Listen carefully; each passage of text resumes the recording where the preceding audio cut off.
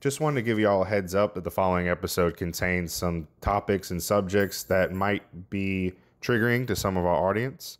Uh, the following is mentioned rape, violence, and sexual assault towards sex workers.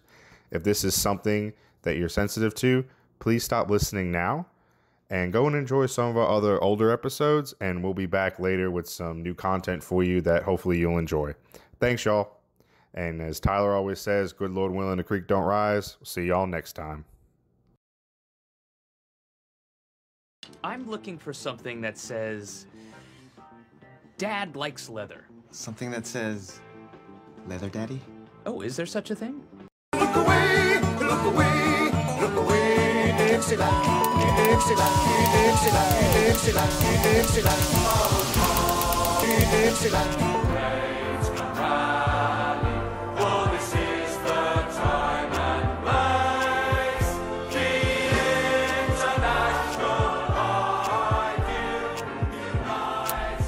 All right, y'all. Thank you for tuning in to Dixieland and the Proletariat. We're going to talk about Southern working class history and current events through leftist perspective. Make sure to like us on social media at Dixieland the Proletariat or Dixie Prole. And if you want to give your wages to a bunch of rednecks, then subscribe to our Patreon page at patreon.com slash Dixie. We got a lot of cool stuff to give you, including CDs, stickers, a cookbook, Discord server, Twitch stream, and exclusive episodes. We also have a Spotify playlist with some great artists y'all should check out, as well as our merch store. This podcast is brought to you by Contractional Monogamy therapy, vaping, living at home, Modelo, pushing people in the swamps, Tommy cheating death, and creative burnout. Shout out to our new Patreon subscribers Ruth, Colton, Tyler, Elaine, and Sandro. Our monthly Patreon surplus goes to groups that are run by and or help marginalized people directly. As always, I'm Nelson with Leather Daddy 69. And I'm just embarrassed. And I'm Tyler. Tell you what, woo, I'm rooting too. I'll say, I'll say, foghorn leghorn. I'll ride down here. Did you just use the actual words rooting to? Y'all know I'm here. I'm Tyler. Hey, woo. And our guest this evening is Sophie. I'm Sophie Hirschfeld. Um, I'm also known on some platforms as Sophie Monsterly. awesome. Well, thanks for joining us, Sophie. So, uh, real quick, how's everybody's day going? I've had a really shitty day. I think I think this is kind of like I think this is one of those uh, days. It's just doom and gloom. This great Labor Day uh, where uh, people who make a salary get the day off, and everyone who makes a, a wage has to go to work, even though it's supposed to be the other way around. But you know, yay, America! Yeah. Literally, this holiday forces people who the day was meant. The people who protested the day are the people who go to work today. Mm. That's Mhm. the entire reason for the day. And then uh, I saw where uh, Ben Shapiro said that Labor Day is a communist holiday, but that doesn't mean we can't partake in some capitalism. Uh, and his like promo code for like this stupid fucking coaster, I don't know, like Yeti type uh, cup thing he has was a commie. And I'm just like, wow, dude, this is fucking great. Mm. I also love how we do it uh, in September, where the actual Labor Day is is, is May first. But you know, Yeah. we gotta be be different. All we've had here in England is like the last bit of summer. We're having weather in the 80s, which is summer, definitely summer for England, but that's that's it. I mean, what else is there to talk about? There's still nothing to do. So, what, is it raining and really hot today? Is it the last? No, just hot. Summer? Just hot. Just hot. Yeah. It poured today. It was hot and rainy and humid and gross. All right, Tommy, talk about something other than the weather, please. Yeah, I was gonna say, Come like, on, are we Tommy. really talking about the weather? Like, What, what? what are you? what kinda, what are you going to talk about? You got to tell us something, Tommy. What happened? I don't know. Uh, Talk about something. What happened in, in, in gaming news or something? I don't fucking know. oh, uh, well, nothing, nothing that you need to concern yourself with, as Thank- you thank do you. not play games. Thank you, Tommy. But- we had we had a long talk before this recording started about how Nelson does not need to up his internet speed because he doesn't do anything with it. Whereas Tommy and I are talking about how much we stream and game, and we're like we're at the limit of our internet usage. Man, And tell Nelson's you- like, maybe I should up mine for you know. you what, I- my- I'm Tyler, and I don't even have internet out here. I've done calling this podcast with a rope and a string, a rope and a cup. I do talk like that. duh. God damn. for the record, There's still Tyler is off on a switchboard vacation. where you live, like the old yeah. style switchboards with the plugs. yes, yes, that's how Oper- Tyler. Operator, operator. Oh, man. I do a lot of gaming too. Last night, I spent way too much time playing virtual sports with my VR, and so my body Oh, hurts. So good. And I'm a Right. chronically ill person, so like that, that's extra great. Now, now look, I hate I hate everything about sports, but I tell you, like virtual sports and like Wii sports are like the best damn games you can play. It's amazing. My VR is actually really awesome for doing like for making sports accessible for me. So I can play all kinds of things and make it accessible without hurting the parts of my body that are damaged. So I can play virtual sports. I do Beat Saber. I do yes. um, we play um, last night we were playing uh, Quest in Rec Room, but it's still really physically active because you're actually moving to like use a whip and you have to move around a bunch to dodge things and so you know it's still really physically active but it doesn't require me to do things that might like hurt my spine or yeah. damage my elbow more or my elbow my shoulder i know the parts of bodies i have a degree in health education you can totally tell right now of course. Don't even get me started. On, don't even get me started on shoulder pain. My God. Oh. oh. I've had I've had the most bizarre like weakness in my left shoulder for two months out of nowhere. Like inside my shoulder. I can't crack it. I can't move it. There's nothing I Oh, can do about it. It's like inside my shoulder. It's just like, no, we're not gonna do this anymore. I have a really heavily damaged shoulder that um, has mobility issues, and I have to you do regular physical therapy on it to maintain what flexibility I have. So I can't do a lot of things I used to do. Um, and there's some issues with my bones that make it to where I have to be really careful what I do. So um, that's not great. This just became a podcast about health issues Oh, whoa, whoa. which we could i could do that sometime but that wasn't the intention all of all of us are over 30 now. We're all broken. yeah, this is what happens literally when that's millennials a get goal old. someday Nah, uh, for me to to to talk about health issues on a long-term basis but that wasn't the plan Ugh. Uh-huh. Oh, oh, oh, okay. Here we go. Easy segue. So, what are you here to talk about tonight? I was going to talk about how i'm my here back. to hurts. talk about sex work and deplatforming and adjacent issues so Yes. that was that was the goal today All right. We got we got through the oh. middle age clusterfuck And- at the beginning. and I I am an expert on that too. So we could we can redirect. I think we, Um, we could jump in about sex work because if we talk about bodily pains anymore, my like my back's already starting to like I can feel it, and my shoulders like, "Wait, Yeah. you start talking about me? And my head's like, you have a headache, go take four ibuprofen.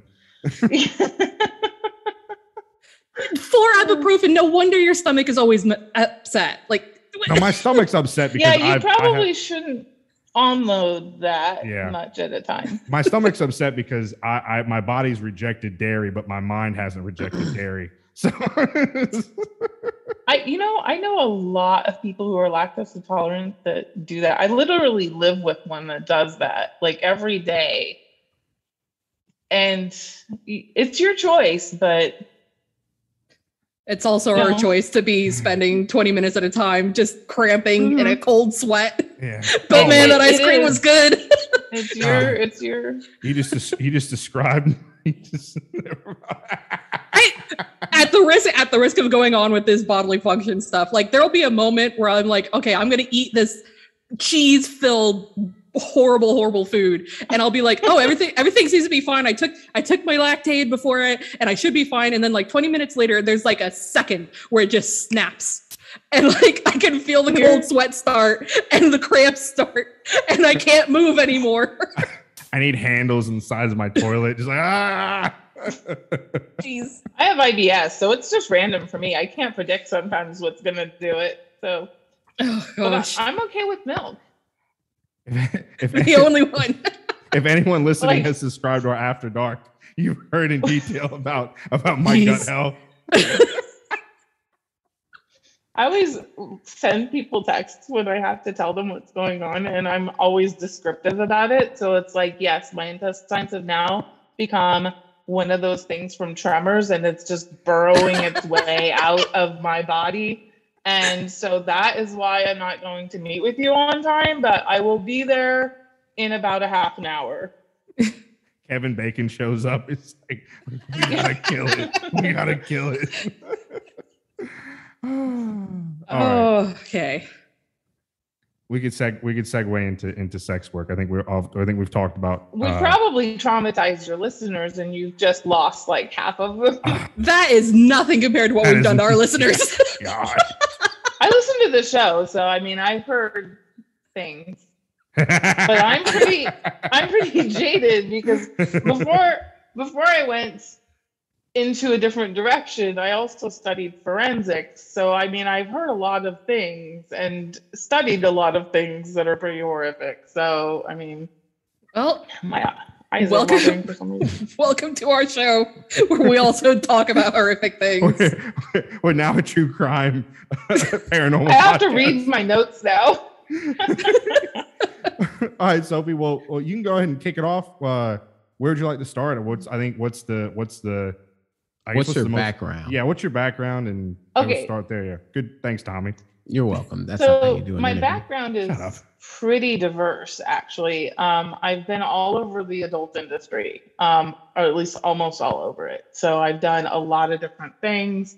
I've done um, i i actually started with erotic texting with most which a lot of people don't even know is a thing.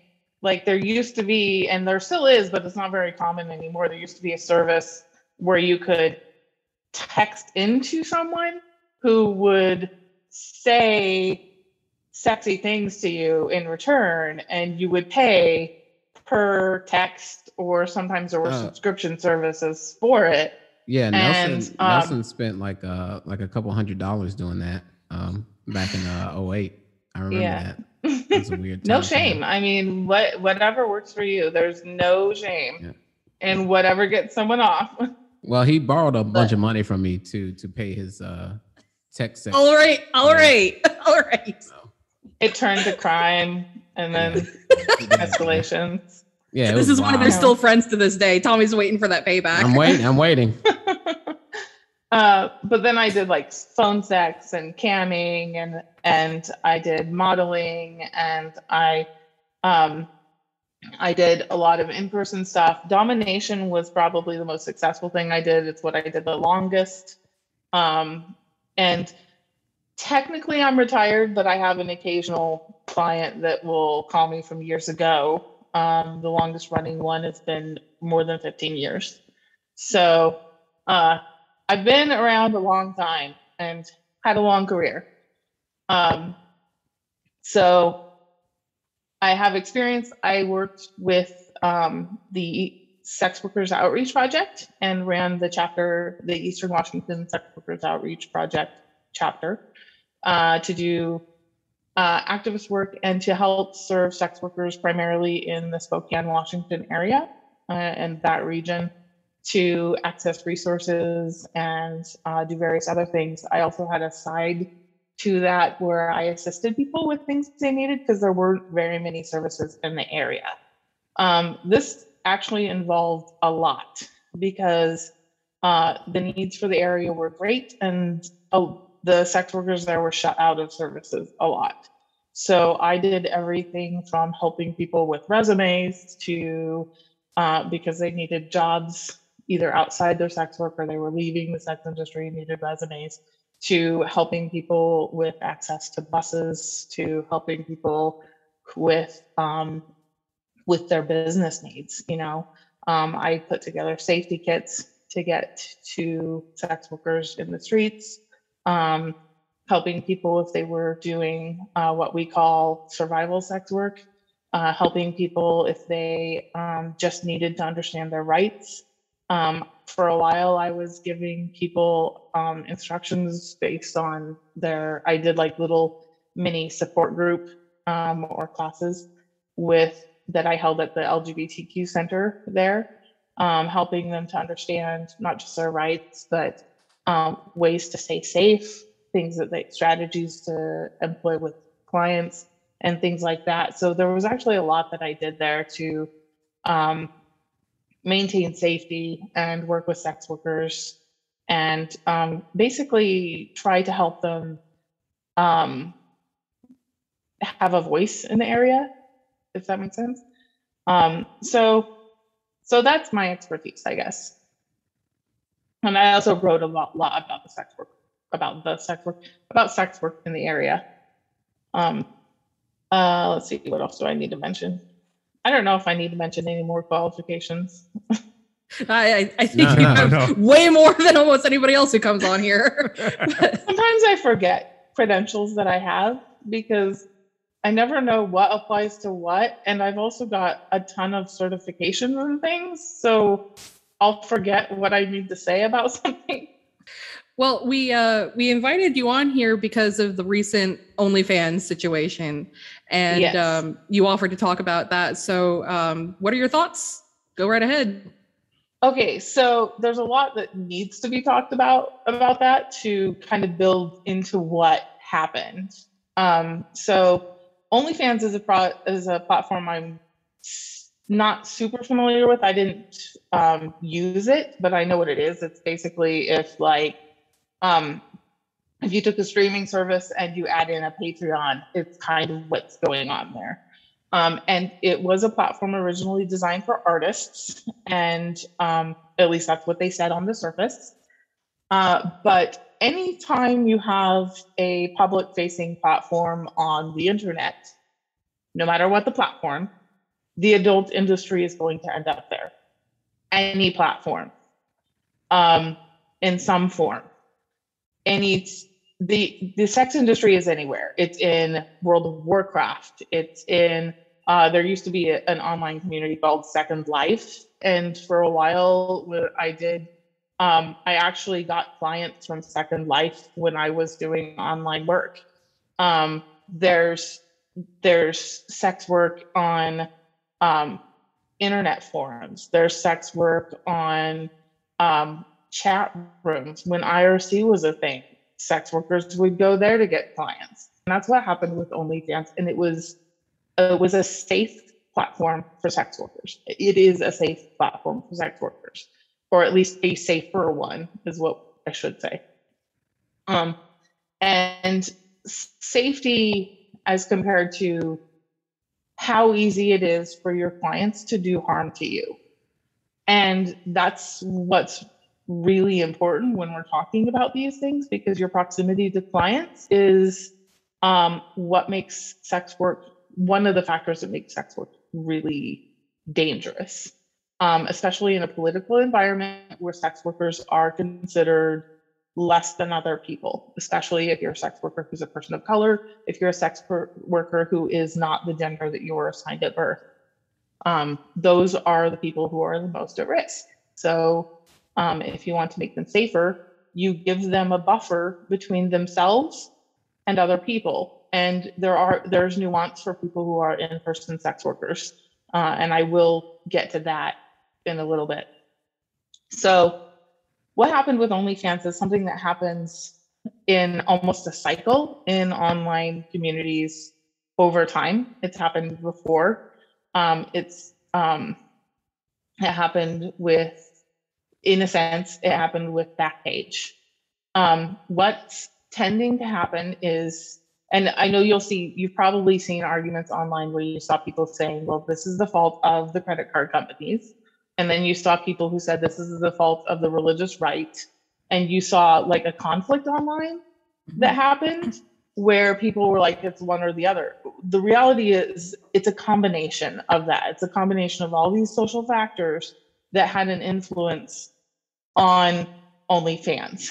And the the thing that um, was really influencing it was these things putting pressure or receiving pressure uh, in combination with what was called FOSTA SESTA. Um, and I don't know how far back, I don't know how familiar people are with FOSTA SESTA. FOSTA SESTA was a law that was enacted in, it was 2008. Um, I don't, I should have written down the date for FOSTA SESTA to make sure that that was the right year, but I did not think to do that. Um, but FOSTA and SESTA controls um, online content and forces the sites that that content is on to um, basically be responsible for what's on it.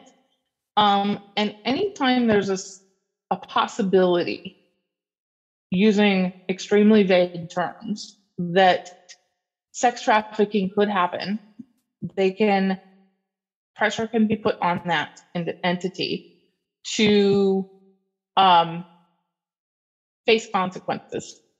This also impacts financial institutions. The, in addition to that, you end up with rules policing from credit card companies who don't want crime to happen with their financial institutions, and they will discourage those crimes by putting pressure on companies that host porn or any kind of adult content or content that might seem objectionable. And that's very vague because that means that this also affects things from disability rights advocates, things from when FOSTA SESTA first came out, a whole bunch of people who were queer saw that their content was taken down from certain websites. And it was because of that vague definition of what was objectionable and what was um, not acceptable. Because suddenly things became considered adult content that was just vaguely defined as adult content.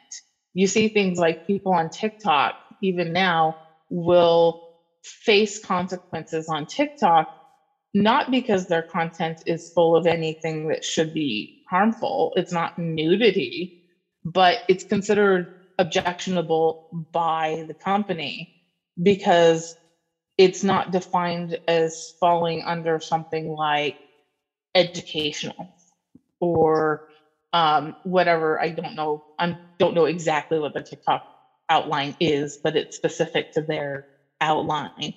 Um, and all of this is because of the FOSTA SESTA rules that are so vague. And it's not actually based on anything that will prevent human trafficking. And that's something that's important for people to remember. When FOSTA SESTA came to be, the people who pushed it forward all firmly believed this was going to solve human trafficking because they were told lies about what factors into human trafficking. Um, most people's beliefs about human trafficking are very false. The action of human trafficking, the mechanisms behind human trafficking, I should say, are hidden by deplatforming. So you're more likely to see human platforming, or oh my goodness, words. Um, maybe it's best to explain to your audience about the aphasia. I do have mild aphasia from medication, so so my words being confused are not because of lack of information. It's because my medications cause my words to become out of order and sometimes replaced with the wrong words. Basically, when we remove the platforms that people have, it hides the human trafficking elements. It does not make, it does not prevent human trafficking. We are not taking human trafficking away, we are effectively hiding it. Um, and the reason is because the it removes the access of communication and it removes the ability for us to actually see what's happening. Um, the ability for victims to outreach also becomes um, less available, if that makes sense. So, in their effort to not um, fund these different platforms, the credit card companies have a variety of ways that they try to block services. And since they're averse to being uh, um, associated with anything illegal, they use specific patterns to determine if anyone's doing something illegal.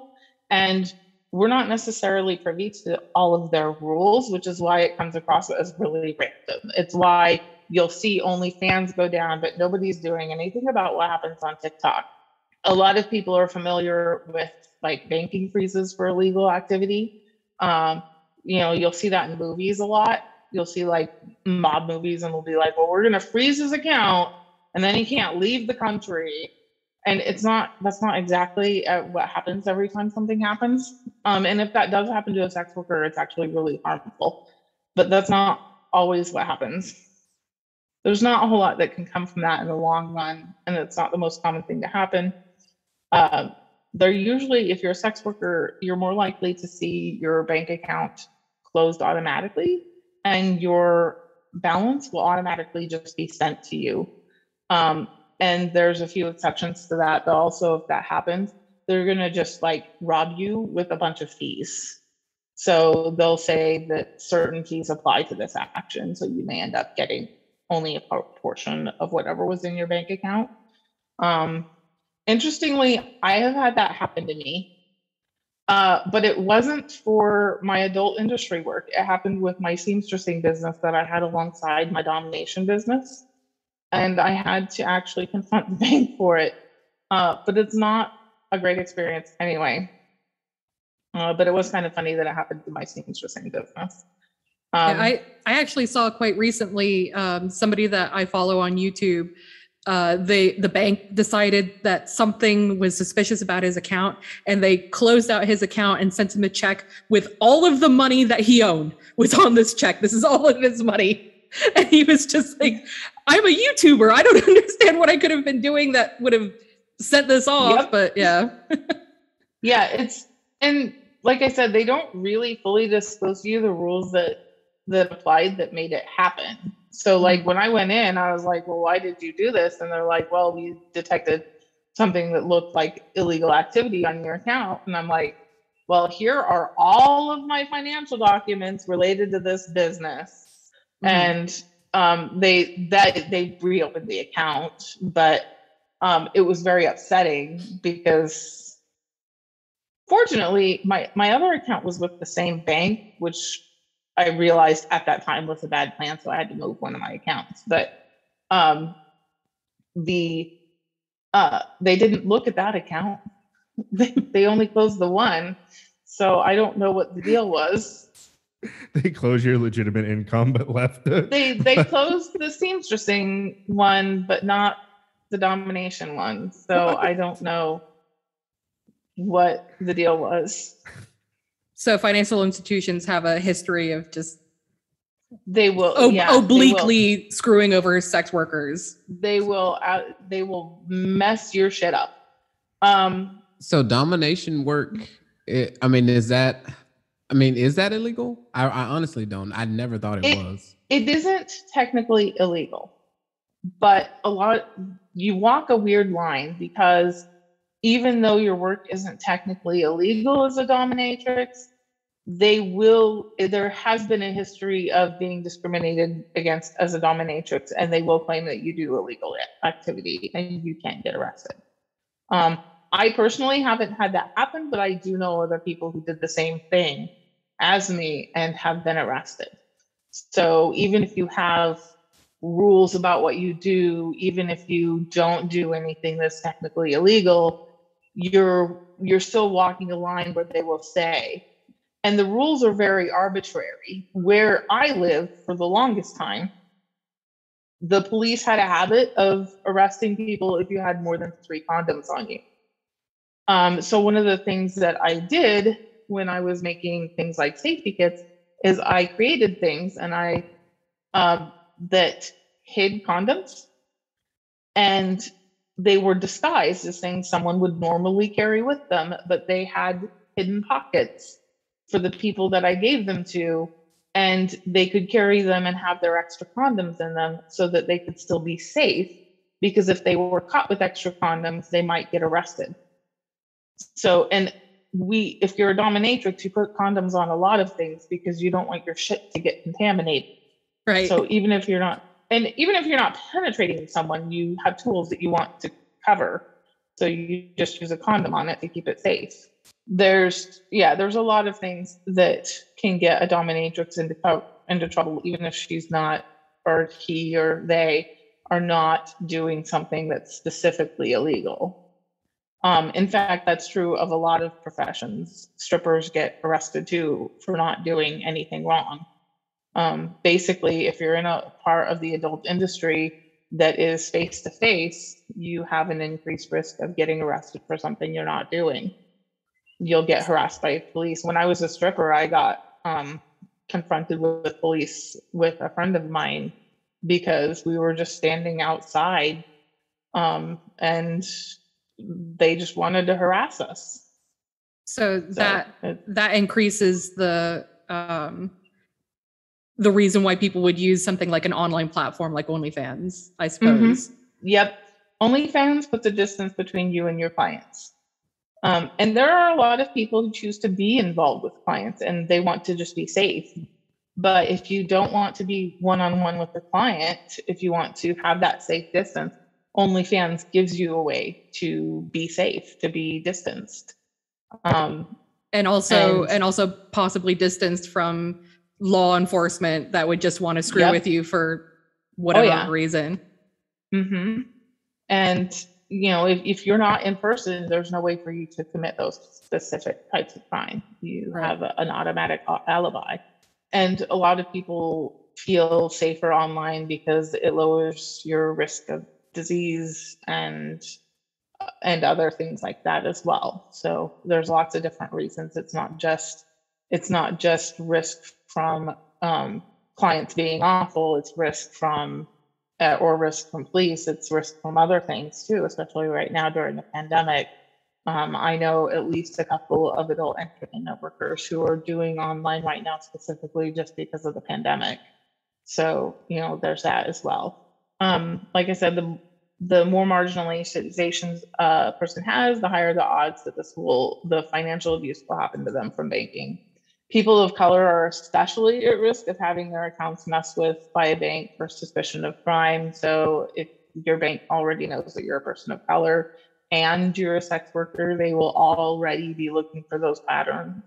So you're more likely to have um, your bank account tampered with by the bank. So I, I guess um, maybe we should examine why these kinds of uh, discrimination and laws and deplatforming, this all stems from, I would assume, from um, uh, religious influences that that would make that would make things like uh, sex work be that that gets codified into laws and into into discrimination. Uh, is that what you've found?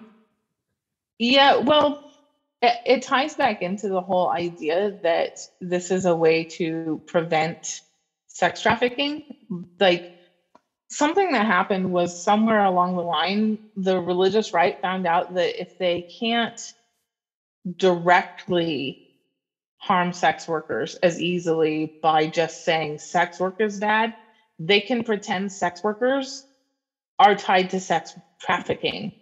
And while that while a lot of people who are sex trafficked are sex workers, it's not the case that sex workers are all sex trafficked. But the laws created against sex trafficking tend to target sex workers. Um, and it's it's the case that the religious right tends to push that narrative. They tend to pu- push generalized things against sex workers in the name of being against sex trafficking. And that means targeting rules that religious institutions have. That means generalized rules that are going to target us with our bank accounts. It means generalized rules that are going to influence uh, credit card companies. It means generalized rules that are going to attack online platforms like Backpage and OnlyFans and um, content providers of any other kind. Um, this policing happens specifically because it can attack sex workers by claiming that it's about sex trafficking. Um, and it's important to really let people know what the distinction is. Um, sex workers choose their work, and this may seem very obvious, sex traf- trafficked people don't.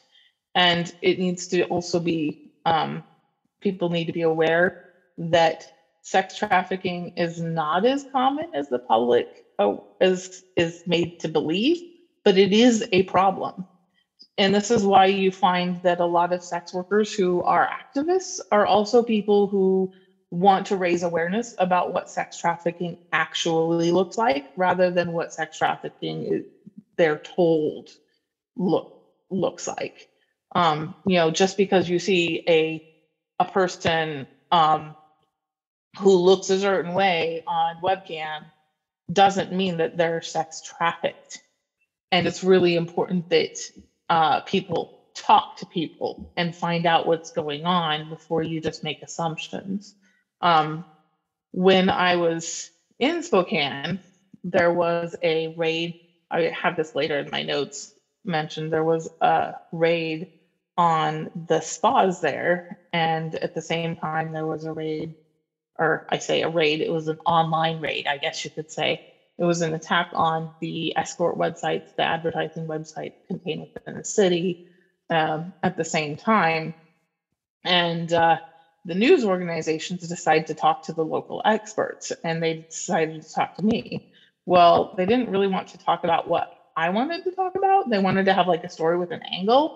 And when I didn't really go along with their angle, they kind of downplayed what I told them and then played up the narrative of this lady that runs the needle exchange in the area, like the drug needle exchange.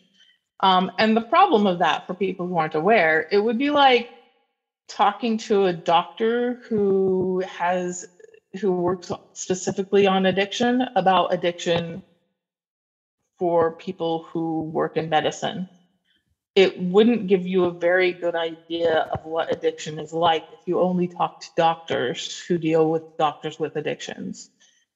Um, and that's what the that's what the whole what the entire um, population who reads the news in Spokane got as a perspective of what was happening was this one lady who deals with the needle exchange in Spokane um, because of that person.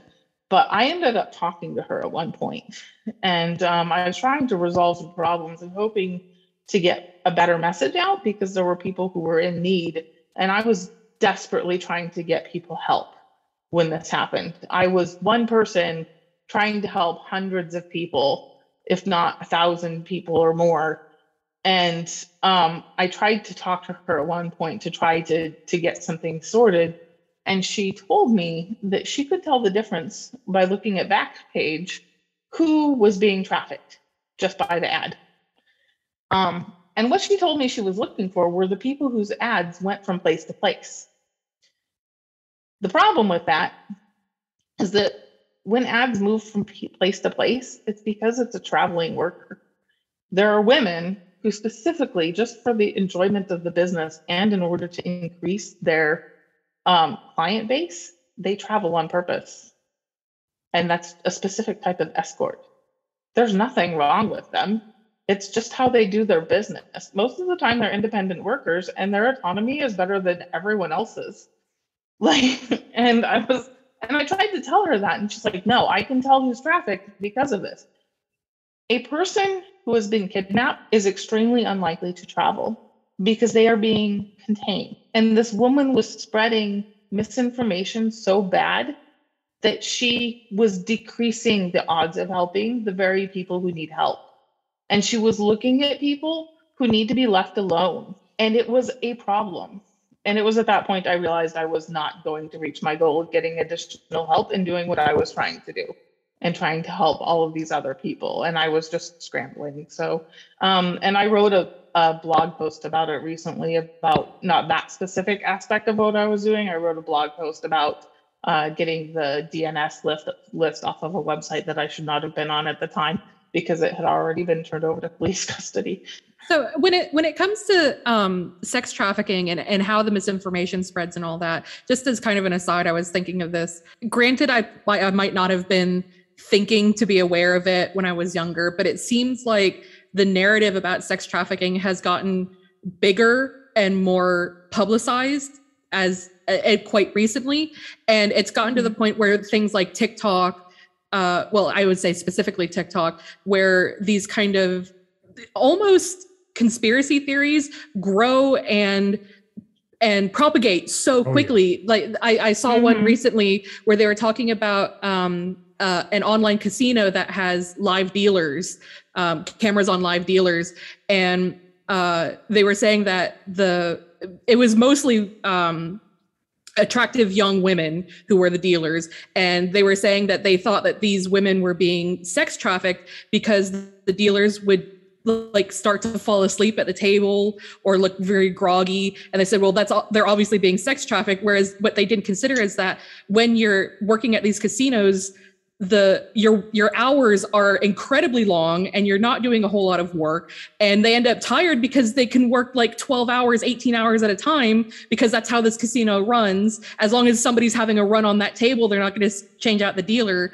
So um i just I, it just occurred to me that like these narratives are just like they're popping up everywhere because this is the this is the boogeyman for right now is sex trafficking. And Mhm. even though there is a problem with it it's just getting you know spotted everywhere. And you, real, real quick, like, to, just to piggyback off what Kai said, you see like viral Facebook posts like every other week that's like, oh my God, I was in the Walmart parking lot and there was like a, I don't know, like a ribbon tied around someone's door handle. And they, uh, my cousin's brother's uncle, who's a cop, said that this means that you've been marked for sex trafficking. And like people in the comments like freak Mhm. out. And it's then Oh, someone yeah, come there's, in like- later and be like, this is complete bullshit. Yeah, there's like the cheese on the car one that I yes, saw one time. yes, was yeah, like- yeah, yeah. Like The re- someone will put nobody's gonna go to that much work to kidnap you. That it's not that's not how it works. Um The new thing There's- they're turning on uh, evangelicals on. There's this pastor that had his kid in like red shoes, and QAnon is freaking out, saying red shoes is a sign. they're they're playing on people's panic. Yeah. Um, but the other thing is that takes away from the necessary conversation that we need to have about sex trafficking, like what actually happens, Mhm. um, where trafficked victims actually come from. Um, trafficked victims are not typically people like you know like us. We're not targeted typically. Um, it's not you're more they're more likely to be a vulnerable person. They're more likely to be someone who is um alone. You know if you're a very privileged person you're statistically less likely to be targeted. Um if you are a person who is with a bunch of people you're not likely to be targeted. If you are uh, an immigrant you're more likely to be targeted if you are a person of color, if you are in specific types of um, underprivileged neighborhoods, those are the places you're going to see people more likely to be trafficked. You're not going to see the people who are described in a lot of these theories. Um, those people are not the targets. They're they're not the people who are going to be taken. And the people who are typically taken are taken quietly. You know, there's not a dramatic thing. They're there and they're gone. And the stories that they have are often not listened to because the police don't care. You know, there's um, one of the things that I pay attention to are a lot of the stories that uh, come from the Black and Missing Foundation, the Missing and Murdered Indigenous Women uh, and the Coalition to Stop Violence Against Native Women. Um, I tried to find one for Asian women, but I haven't really found one specific to that. They tend to fall under um, immigration ones, and those are the stories you need to be paying attention to. It's not that it's not that privileged white people don't go missing. That does happen. It's just that they're less likely to be the ones that go missing and don't get found they're less likely to be the targets. So I tend to be more likely to to pay attention to the marginalized groups, the quiet, the groups that society silences are the ones that I tend to pay attention to because those are the ones that are so much at risk. Uh, so you mentioned you mentioned a few places um, before now. We did we did talk a little bit about OnlyFans, but um, are there other online platforms for sex work? I, I I've seen some things. So once OnlyFans said that they were going to start discontinuing, um, I guess adult content. I saw some people saying, "Oh, there's this other site that could be good," and other people saying that one's Mhm. not very good. So it, are- there more platforms, or is there somewhere for these uh, people who don't want to work with OnlyFans anymore, even though they've walked back those things, can go? hmm So there are other lists, and I did uh, want to talk about them, and um, you can find them online. the The thing to pay attention to is not every website is the same, and I think it's really important for people to understand that um, when you find those lists, I and I realize everyone's sharing those. Their their intention is is pure and good. Like you want to be helpful to the people who potentially are losing their platform. But imagine if baristas were told that they could no longer work at Starbucks for some reason. And like 80% of Starbucks baristas could no longer work at Starbucks. What would happen to the coffee economy? And what would happen to all of those baristas? Because the remaining coffee places are not going to be able to recoup for all of all of that's happening. They're not going to be able to fix the, the coffee economy. They're not going to be able to hire all of those baristas. They can't take them on. There's just going to be this weird hole that's left behind. And some of those baristas are going to be able to find other work. Some of those baristas are going to be out on the streets because they can't find another job. Some of those baristas are maybe going to get into a better place, but most of them are not. Some of them are going to end up very desperate. And the same thing will happen if they if people lose their platform on OnlyFans, especially since OnlyFans grew so big so quickly during the pandemic. There will just be a void where people have lost their jobs and they will have no place to go. Even if they go to these other places, those places are not going to have the same client base. They're not going to have the same income. They're not going to have what OnlyFans had. There won't be the same guarantees, and they, it isn't going to be the same kind of job. So when people see those things, they need to have that awareness that they're not offering the same thing. Um, but if someone does want to leave OnlyFans for one of those things, something they need to be aware of is that not all of those services are the same. Um, things like one of the ones I saw was like Pornhub. Pornhub is actually a hub of recorded videos that, um, at least the last time I looked, Pornhub is actually a very old site. It's been around. I was still active when Pornhub was first started. Um, previously, you recorded your stuff, you put it up, and you might be able to um, get ad or not ad money. You could get subscription money, I think, um, for Pornhub. And uh, I think XTube was on there, maybe. Uh, I'm trying to remember off the top of my head what the list looked like. Uh, and it was very similar. There's um, some streaming services. Um, those are similar. Some of those sites are buying amateur porn, some of those sites are buying professional porn, and it's going to be important to know which is which because you can't submit professional porn because that's a different credential than amateur porn. Um, some sites want you to do active live things. Some sites want you to do not active live things. Um, and knowing the difference between each type of video work is going to matter as to whether or not you can use that platform. So it, I know, I don't think the person that compiled the list that I saw actually knew the difference between all of the websites. I think someone just compiled a list of things that they knew that was things that they could consume that someone could potentially work for. Um, so while uh, and it might be good for if I don't know if you do you do show notes? I've never actually looked. I've listened to the show, but I've never looked. Um, Yeah, we Yeah, took. we We, uh, if you do show notes, it might be good to refer to that list, but just with the awareness that that list may not be useful to everyone because it's not all the same things and they don't have the same user base as OnlyFans or the same format. Yeah, and if you're just a fan out there who, you know, just wants some, you know, second opinions, you can always email us, you know, your videos or pictures and I would- we'll take a good look and uh we'll give you some good constructive feedback. So just let us and know.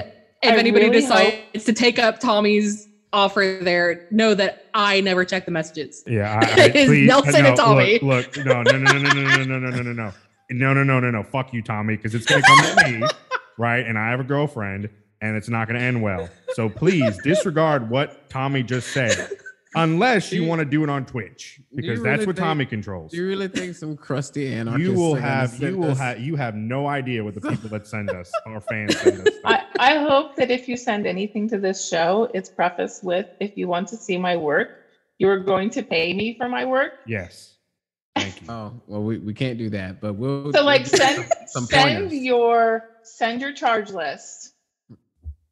Send your charge list and your headshot to eh, and just lead with that.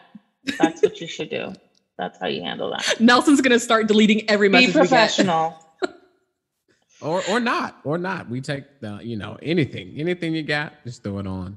Bring it on. Be be professional and just send your professional.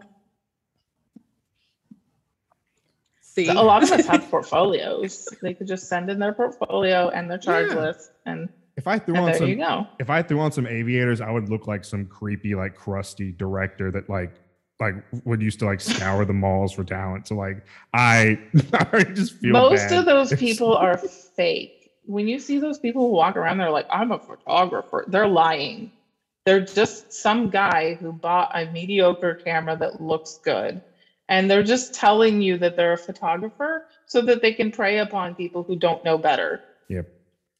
for for anybody, any like especially Zoomers who might not like you've aged into COVID, so you didn't have this time period, or these things might not happen as much anymore because this was like pre really big digital era. But I was one of those people who was in the mall. I was with a friend, and this guy walked up to us, and he's like, "Oh, we're we're collecting people for such and such thing," and my friend was like, "Yeah, sure."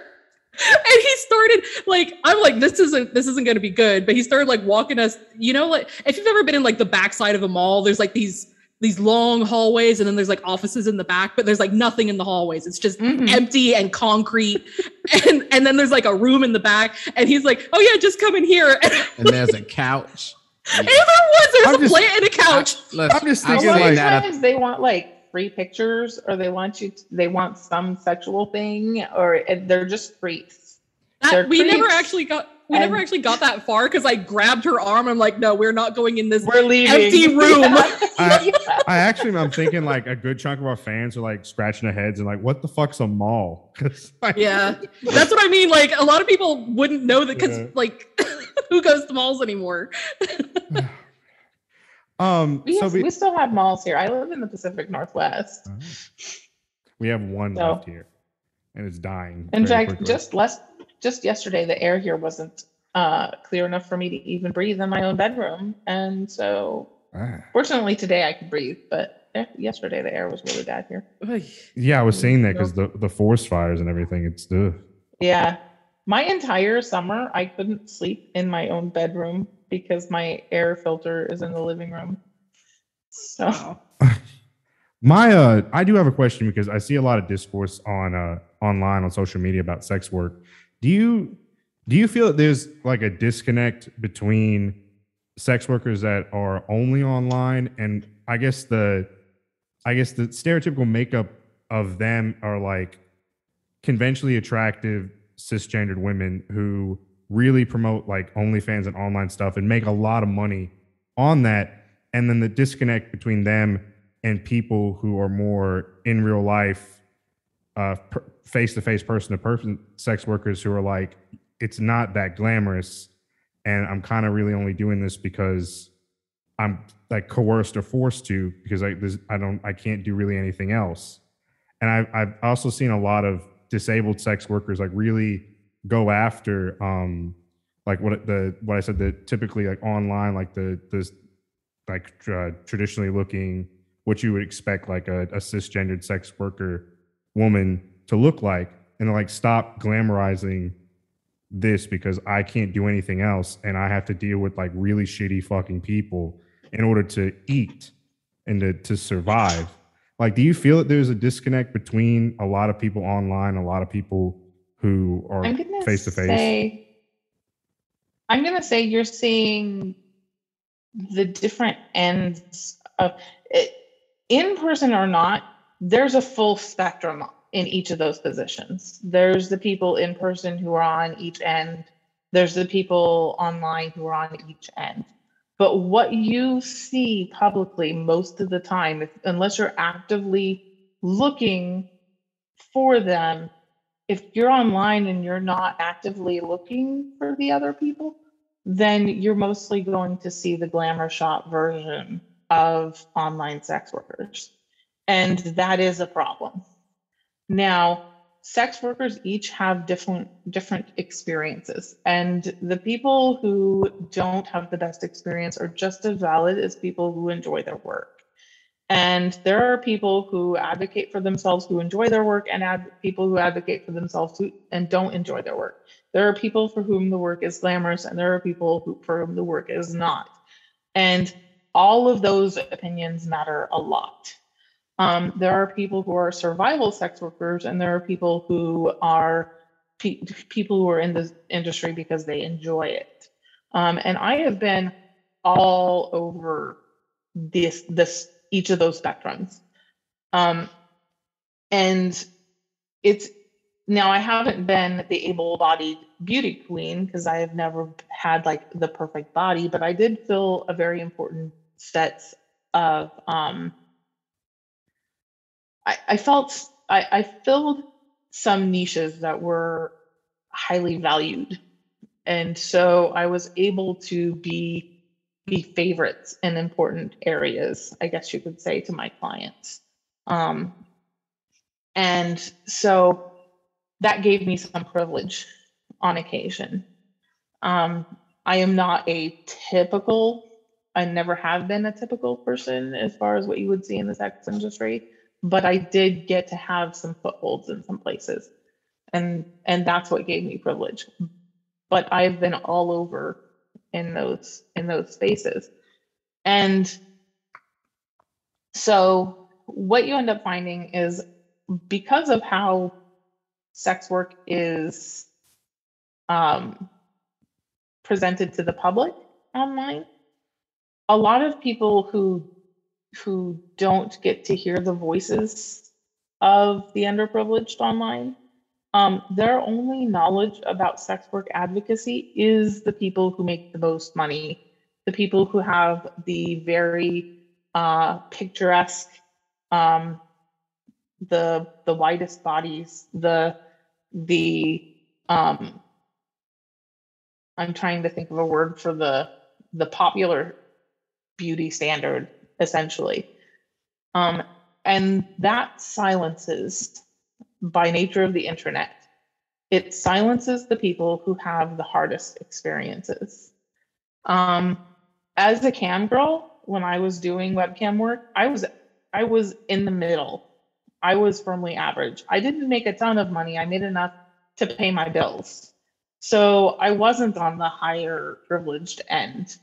Um, I was someone that people liked, but I was I was plus size. I had, you know, like I had my genre, which was like a gothy look, and I could dominate, and that was a thing I could do. Um, but it wasn't my favorite thing to do. It wasn't. I I was also a dancer, and so I didn't fall into the end of the other people that were on the side I was on, and there is a sense of that person sees the industry differently than I do. They don't see the side of the industry that I did that I did. And there were people that I worked with who made less than I did.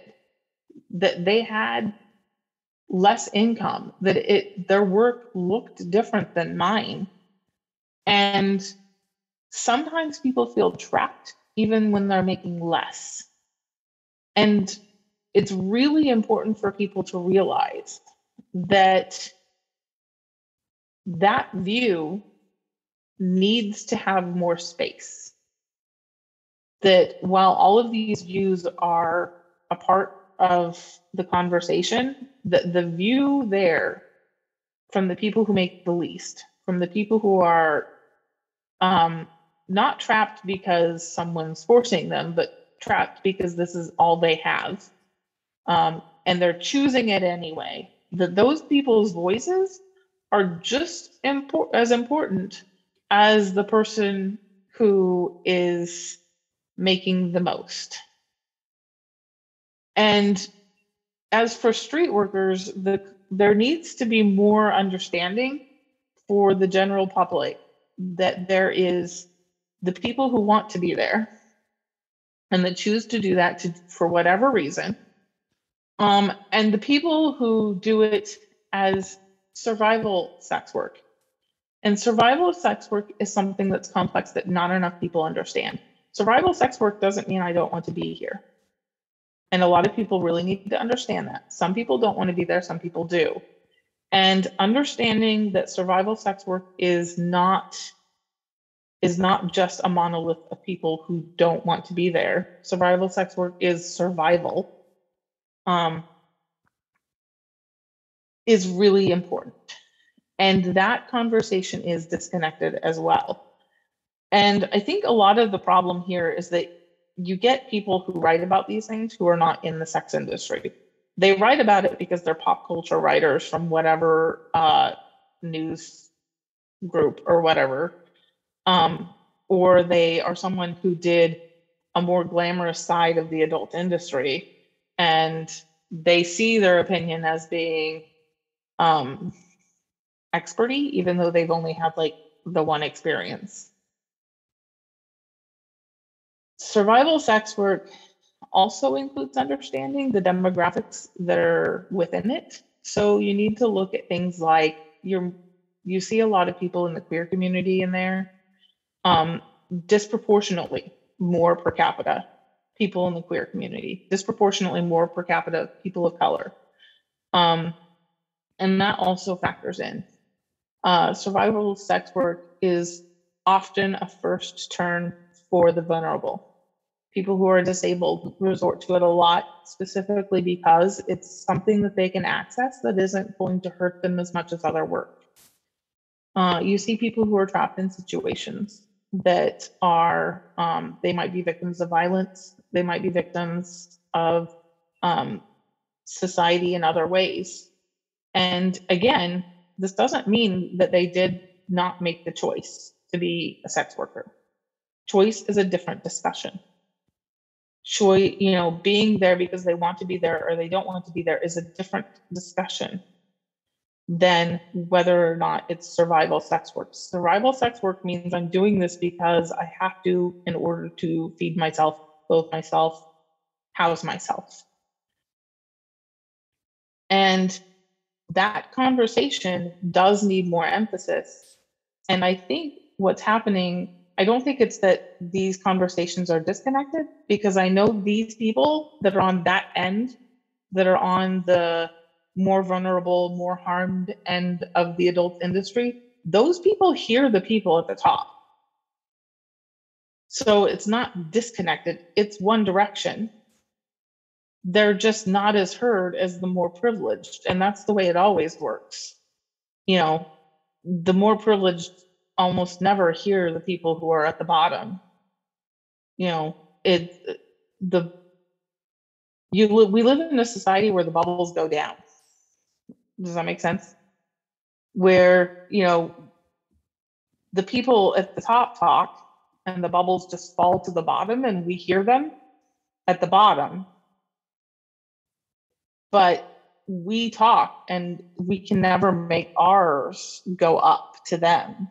So the bubbles fall down. It's a it's a backwards thing. I don't know if the- that answered your question very well. It No, it kind of reminds me of this thing that happened. Um, I heard about from from OnlyFans. I think about a year ago. Um, there's a, a quite a popular. Uh, I guess you would call her an influencer now. Uh, Bella Thorne. I think she was a Disney Channel actress at Mm, one yeah. point. She joined OnlyFans, and um, I think be, just based on the reputation of OnlyFans, without like actually saying that she was going to be releasing any kind of Oh. nude photos or anything. Do you do you remember the situation? I think I remember something about that. It didn't happen with a few popular. There's a couple- or So, something. yeah. there were a couple that did this. Bella Thorne was the one that I feel like pissed off the most people She pissed because off the she most people.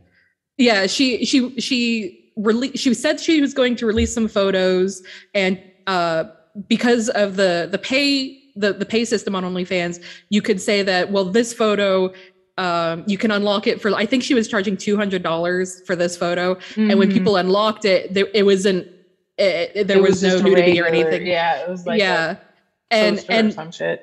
most of what I heard, there were there were a couple other instances. There's um, a YouTuber, I Niki or Gabi DeMartino.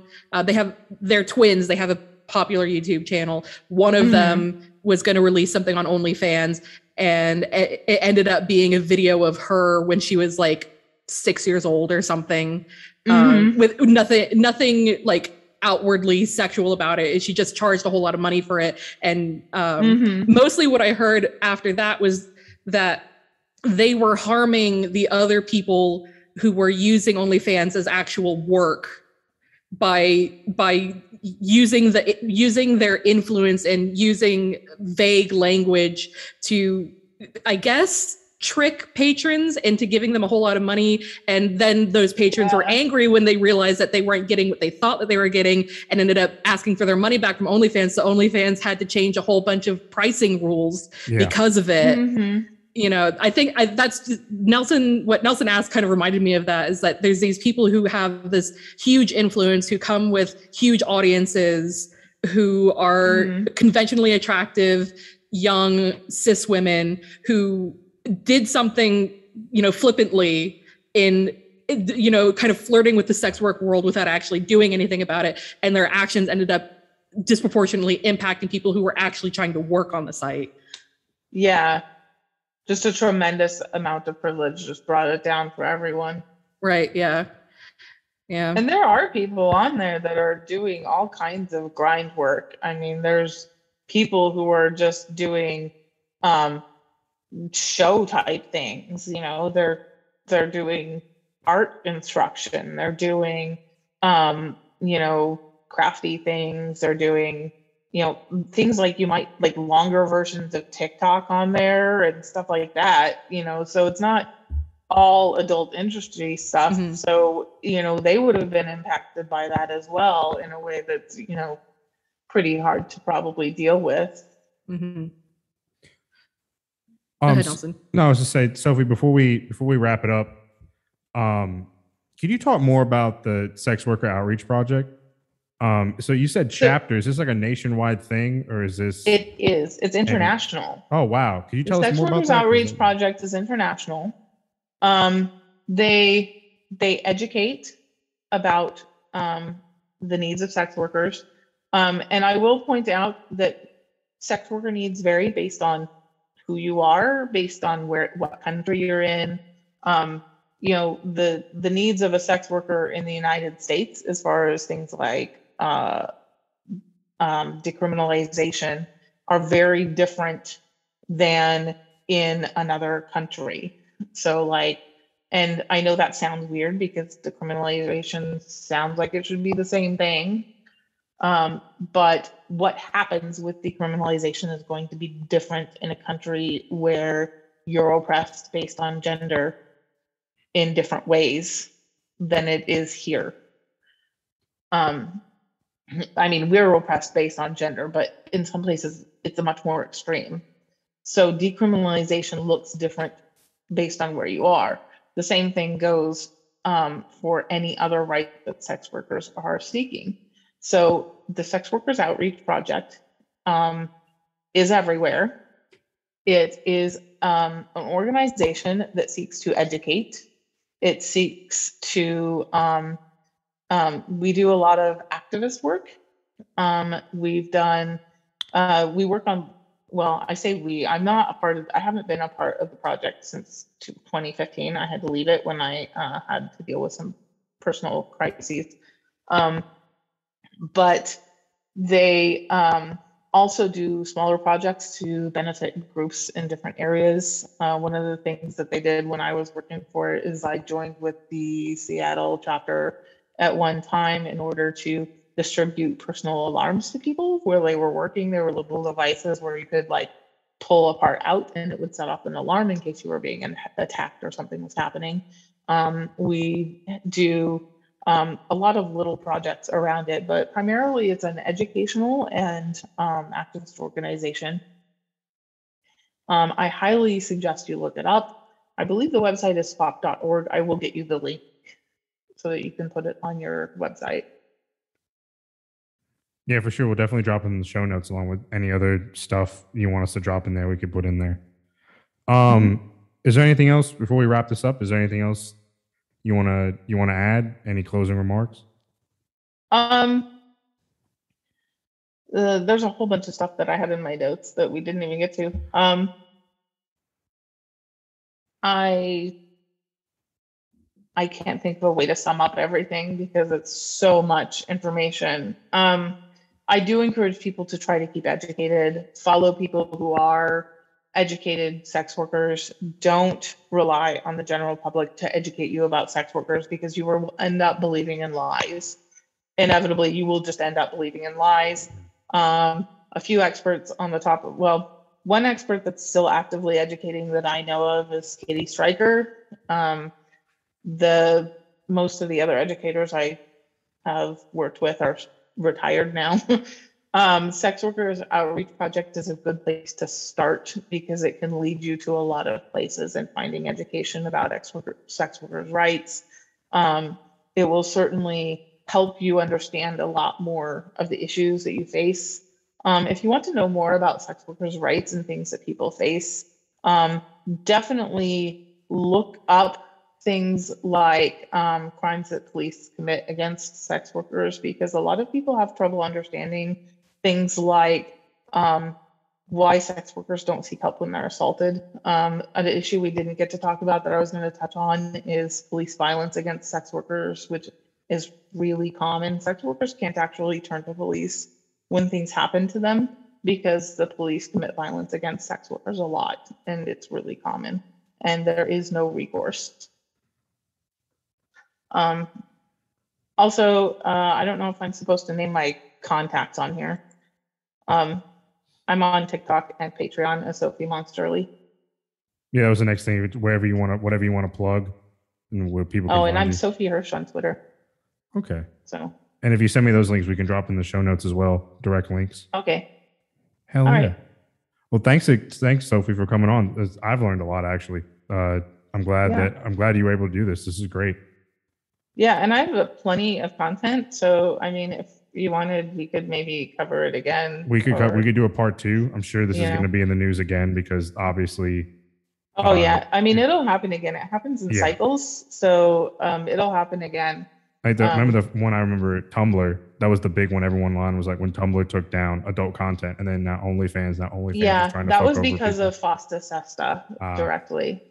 Um, yeah, that one was not great. Um, it, like I said, every time something like this happens, it it um, it makes people homeless. It makes people suffer. It makes them lose not just their income, but you know a lot of aspects of their lives. It also something else we didn't mention. It endangers further endangers domestic violence victims. You see violence increase against sex workers typically if they um, lose their access to income. They become more likely to become trapped in dangerous situations. So uh, we didn't get to touch on that either. So. Well, we can definitely um, look at our schedule and see if we can yeah, add another and add another episode to this because there's obviously like this is we started out wanting to do an episode because of the OnlyFans issue, but the OnlyFans issue Mhm. is really quite small compared to how much it, it it's just a, a little a little you know piece of the the cog that is dealing Yeah, with all of this. it's a big in-depth thing it's it's complex yeah. It definitely. Yeah, what yeah, what Kai said. I, it's just like it's like just in this short like an hour and fifteen. I've learned more than just listening to people yell at each other on Twitter. Yeah, I think, and that's another thing is that people online get silenced so much. It makes it really hard for people in general to learn about what's going on with sex workers. No. Tommy was very Not- excited that you're going to be on. Yeah, Tommy was Well- very. Well, then. I was told Oh. I couldn't ask questions. So No, I didn't say you couldn't Oh. ask questions. I Oh. said don't oh. don't be an ass. What do you have a question? I'll answer a question. I have lots of questions. Okay, so pricing. Okay, like how does that work? Is that like based on like is that an individual thing or is it are there like market prices? Like how does that work? Which specific platform are you asking about? Uh, well, I mean, like, I guess um street work. The people usually determine their own pricing based on the general economy in the area and what they think of their own value. Um, Okay. so, and there are lots of depressing aspects to that because there's, because you basically have to self assess and then try to figure out what's going on with the other people around you. So, if you're on the streets, your value could there could be a huge range of prices for people on the streets.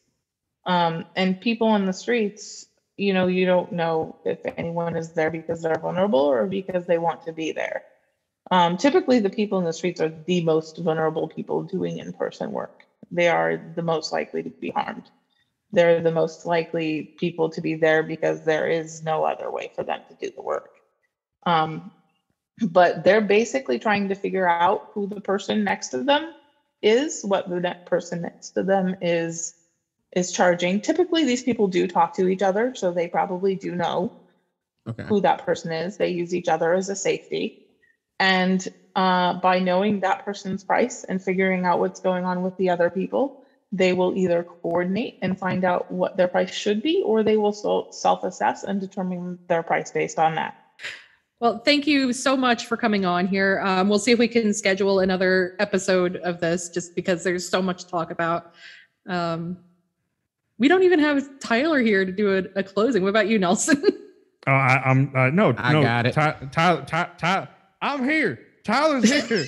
Tyler's here. But uh, I'll do that. I'll do the outro.